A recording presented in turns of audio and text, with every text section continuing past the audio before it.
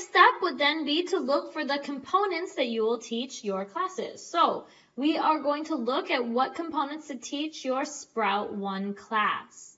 So in order to do that, you need to get your Sprout program guide out. And we already have this label from before. So after you have that, you want to find your two-day program guide. And it's going to look something like this. So you can see both type A and type B are located on the same page. But this is going to be a type B class. So you want to look down here. So for Sprout 1 here, this is your first block. Here we have block 1, block 2, block 3. So because it's the first block, day 1, you'll be teaching them reading and writing.